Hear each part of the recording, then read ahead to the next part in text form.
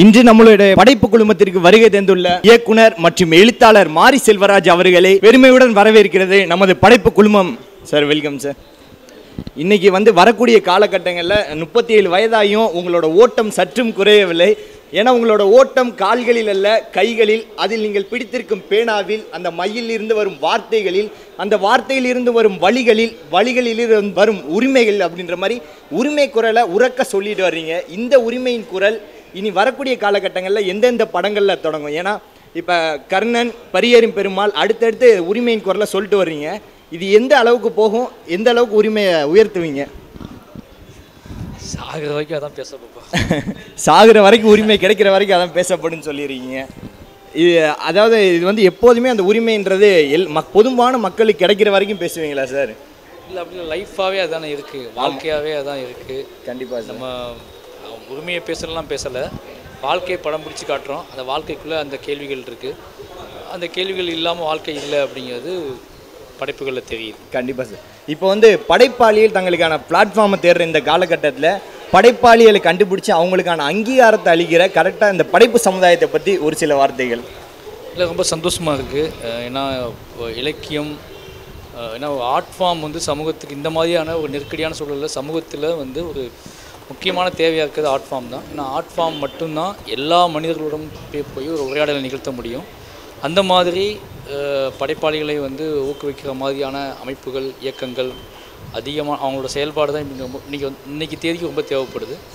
அந்த மாதிரியான செயற்பாட்டில் முக்கியமான பங்கு வகிக்கிற அந்த படைப்பு சங்கம குழுவினருக்கு என்னோட வாழ்த்துக்கள் சார். வண்ணங்கள் பல இருந்தாலும் அதில் மூ வண்ணம் தான் என்னைக்கு சிறந்ததுன்னு சொல்கிறாங்க அதே மாதிரி தமிழ் எழுத்துக்கள் பல இருந்தாலும் அதில் ஒரு எழுத்து என்னை ஈர்த்தது. அன்பு ஈவு இரக்கம் பரிவு பாசம் இது மாதிரி பல வார்த்தைகள் இருக்குது இதில் உங்களை ஈர்த்த ஒரு வார்த்தை என்ன வார்த்தையாக இருக்கும்?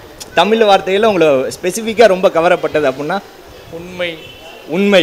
எது படைப்பு எல்லா படைப்புலையும் உண்மை இருக்குன்னு ஆசைப்படுவோம் படைப்பு எல்லா படைப்புலையும் உண்மை இருக்குண்ணா சார் கண்டிப்பாக சார் உண்மை இருக்கும். ஏன்னா இந்த படைப்பு குழுமம்ன்றது இலக்கியவாதிகளுக்கான ஒரு தனி வெளியீடு. ஏன்னா இலக்கியவாதிகள் பல தேடல்களை தேடிட்டு இருக்க மத்தியில் இந்த படைப்பு குழுமம் மூலமாக அவங்களுக்கான உரிமை பெறுறாங்க இந்த படைப்பு குழுமத்துக்கு நீங்கள் வருகை தந்ததுக்கு பெரிய மகிழ்ச்சி அடைகிறோம். படைப்பு குழுமம் சார்பாக மீண்டும் ஒரு முறை உங்களை வருக வருக வென்று வரும் மகிழ்ச்சியோடு வரவேற்கிறேன் சார். தேங்க்யூ சார் சார் அந்த நீ நானாவில் நீங்கள் வாங்க ஆட்டாங்க சார்.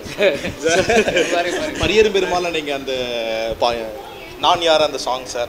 அதுவும் குறிப்பாக அதே வந்து அந்த கரண் படத்தில் ரொம்ப மோஸ்ட் டச்சிங்காக இருந்த அந்த லாஸ்ட் தனுஷா நாட்டாங்க சார். இது பின்னணி என்னங்க சார்? அது என்னவான ஒரு மனநிலைங்க சார் அந்த உங்களுக்கு இருந்துச்சு? ஆட்டத்தின் பின்னணி என்ன? ஆமாங்க சார். நான் நான் அந்த படத்தில் பொதுவாகவே ரொம்ப இமோஷனல் டச்சு ரொம்ப பவர்ஃபுல்லாக நீங்கள் வெளிப்பத்து ஒரு இடம் தான் தனுஷோட இந்த லாஸ்ட் நன்னன் தான் சார் நான் பே- நான் அப்போலேருந்தே யோசிச்சுக்கிறேன் நீங்கள் படம் பார்த்ததுலேருந்தே ரொம்ப வியப்பாக இருக்கிறேங்க சார். அது என்னவான ஒரு நோக்கம் அந்த என்னவான ஒரு மைண்ட் செட் இருந்துச்சுங்க சார் அது? குறிப்பாக அந்த last dance of Karnan movie sir.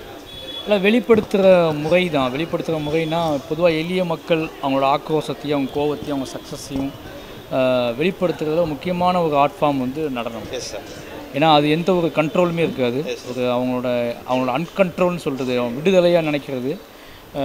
தன்னை தானே விடுவித்துக் கொள்ளுதல் சமூகத்திலிருந்து தன்னை விடுவித்துக் கொள்ளுதல் அல்லது வந்து எல்லா தன்னோட எல்லா இதிலிருந்தும் தன்னை விடுவித்துக் கொள்வதற்கு அவங்க பெருசாக நம்பிக்கிறது நடனத்தை தான். அதனால் பொதுவாக எனக்கு என்னோட சின்ன வயசுலேருந்து நான் பார்த்த விஷயங்கள் எல்லாத்துலேயுமே நடனத்துக்குள்ளே அவங்க ஒரு எதையோ தேடி ஓடுறாங்க தேடி ஓடுறது ஒன்று அடையிறது அல்லது வந்து இழந்துறது எல்லாத்தையுமே அவங்க நடனம் ஆடும்போது நான் பார்த்துருக்கேன். அதோட பிரதிபலிப்பு தான் என்னோட படங்களில் வந்து அந்த மாதிரியான கேரக்டர்ஸ் நடனம். எளிய மக்கள்கிட்ட நம் நம்ம நடனம்னு ஃபிக்ஸ் பண்ணி வச்சது வேற.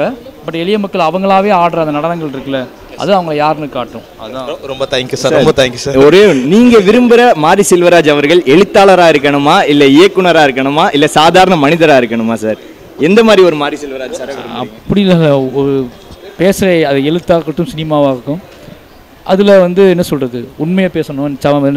சாமானியர்கள் பக்கம் ஒடுக்கப்படுகள் பக்கம் நிற்கக்கூடிய மனுஷனாக இருக்கணும் அவ்வளோதான் ஓகே சார் தேங்க்யூ சார் மீண்டும் ஒரு முறை welcome sir thank you sir thank you